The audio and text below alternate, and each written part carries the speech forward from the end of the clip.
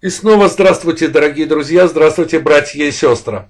В данном видео мы с вами поговорим о высказываниях одного крайне условного политика, имеется в виду премьер-министра Армении Пашиняна, и действительно политика с большой буквы, как мы бы к нему бы не относились, Владимира Владимировича Путина, президента России. Сейчас многие спросят, что же может связывать данных политиков в их высказываниях. Ну что ж, давайте приступим к данной теме. Не столь давно Пашинян высказался о том, что хотел бы, чтобы Россия продавала газ для Армении в рублях. Для того, чтобы, опять-таки, не выглядеть голословным, как я люблю выска... высказываться, я представлю вашему вниманию статью Пашинян. Армения хотела бы закупать российский газ в рублях, а не долларах. Интересное высказывание, согласитесь. При этом, учитывая то, что на территории Армении очень часто создаются проблемы для российских компаний – Словно бы действительно Армения собирается через вот эти осуществляемые проблемы для российских компаний взять Россию за горло. Но это смешно, учитывая, что армянский рынок, в общем-то, не блещет. И не настолько заинтересовывает Россию, как рынок, допустим, Азербайджана, Белоруссии и так далее. Но дело не в этом. Пашинян делает вид, что не понимает, что для того, чтобы Россия продавала Армении газ за рубли, Армения должна стать частью России. Потому что существуют международные законы о продажах. Не так ли? Тем более, учитывая то, что Пашинян опять-таки делает вид, что не понимает, что газ это основное средство, можно сказать, развития России, так же, как и нефть. И продавать в рублях России крайне невыгодно.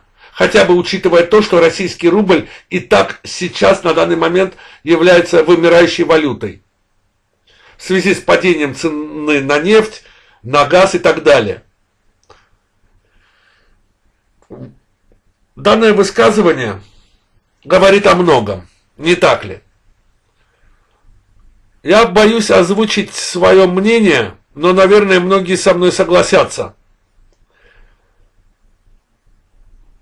Пашинян, видимо, подготавливает армянское население к присоединению Армении как территории к Российской Федерации. Потому что данное высказывание иначе трактовать невозможно.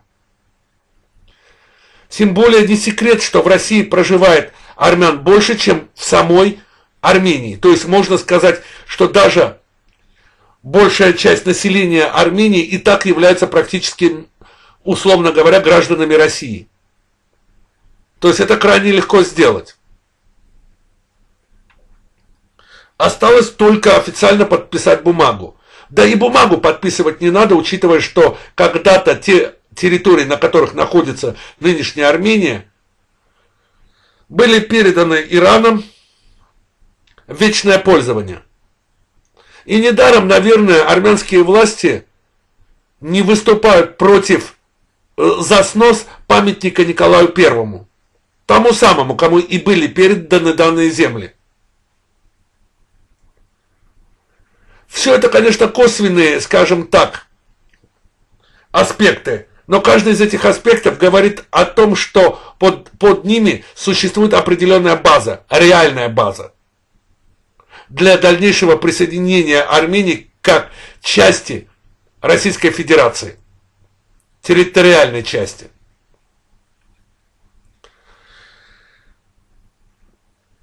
Ну давайте продолжим. Теперь некоторые спросят, а при чем здесь Путин? В данных высказываниях Пашиняна и в тех планах, которые, на мой взгляд, Пашинян по неволе тихой сапой озвучивает. И зачем тогда Армения мешает фирмам и организациям действовать на территории Армении? Этот момент я тоже постараюсь осветить, оба эти момента. Ну давайте вначале осветим, зачем же Пашинян в этом случае создает проблемы для компаний. Ответ крайне простой. Выжив с территории Армении на некоторое время российские компании и опустив Армению, скажем так, в экономическом смысле еще ниже, он заставит самих же армян обратиться к Пашиняну о том, чтобы Пашинян подписал договор о присоединении Армении именно к России как территории. То есть через доведение Армении до ни, до точки ниже критической, он заставит армянский народ согласиться с данным направляющей. Таково мое мнение. А теперь давайте перейдемте ко второму вопросу, что же связывает высказывание Пашиняна с высказыванием Путина. Для этого достаточно осветить обращение Путина к э, участникам в ЕАС. Он говорил о многочисленных проблемах в развитии данного, в общем-то, нерожденного до конца дитя, имеется в виду ЕАС. Говорит о проблемах, о многочисленных аспектах, которые не дают развиваться данному союзу говорит о том, что тихой сапой намекает о том, что в некоторых республиках, входящих в ЕАС, происходят некоторые действия, которые мешают, скажем так, работе фирм и учреждений, скажем так, из других стран, входящих в ЕАС. Видимо, здесь намек идет на Армению. Потому что, как вы, наверное, знаете, у многих фирм, российских фирм на территории Армении соз... создаются многочисленные проблемы для их дальнейшего, скажем так, для их дальнейшей работы на территории Армении. То есть это тихий камень в адрес Армении. То есть это по неволе лишний раз подчеркивает правоту, что, скорее всего, премьер-министр Армении и действует специально и умышленно э, для осуществления более радикальных действий со стороны Путина со временем, выжимая российские фирмы.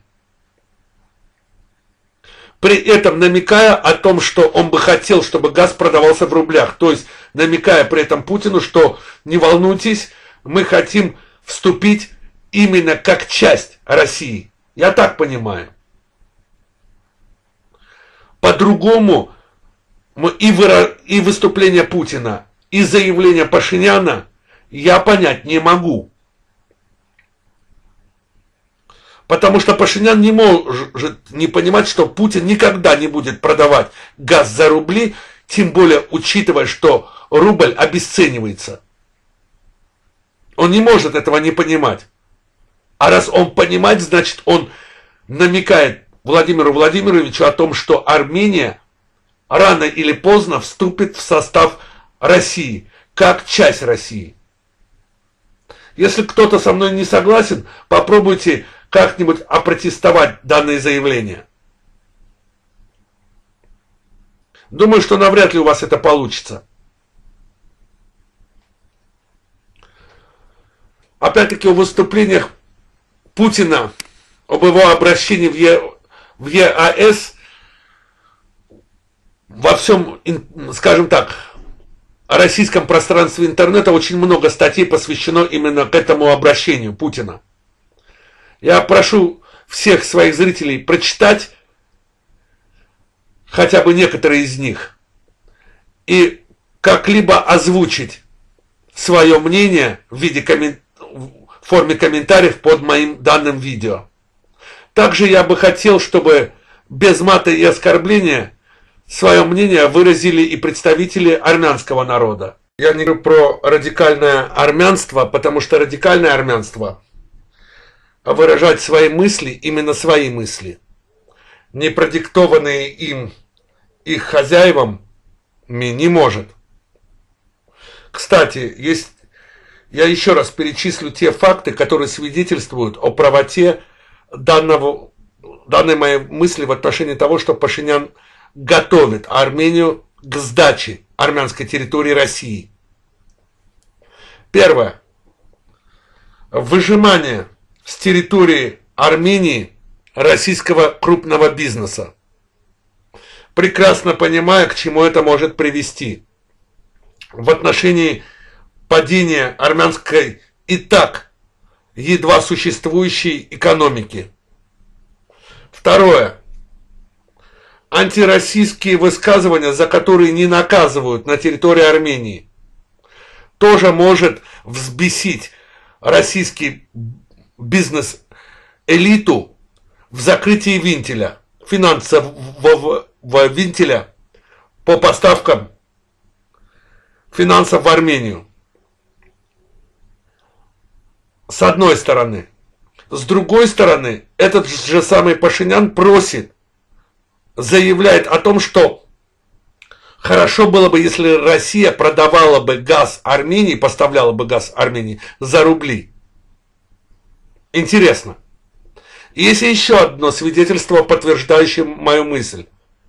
Это то, что армянские власти делают вид, что не замечают то, что на территории Армении в Гюмри стоит памятник Николаю Первому, тому самому русскому царю, которому были переданы те самые земли, на которых сейчас находится так называемая Армения. Вечное пользование. Я подчеркиваю, вечное пользование. То есть вне зависимости даже от строя. Потому что вечное пользование это означает одно, что бы не было. Эта территория должна была остаться российской. Как-то так, дорогие друзья. На этом, пожалуй, я закончу данное свое видео. Да, единственное, что хочу обратиться к своим зрителям, к тем, кто захочет оказать поддержку каналу.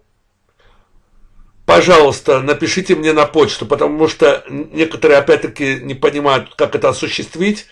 А поддержка в, таки, в такое тяжелое время, как так называемая пандемия – к сожалению, втройне необходимо.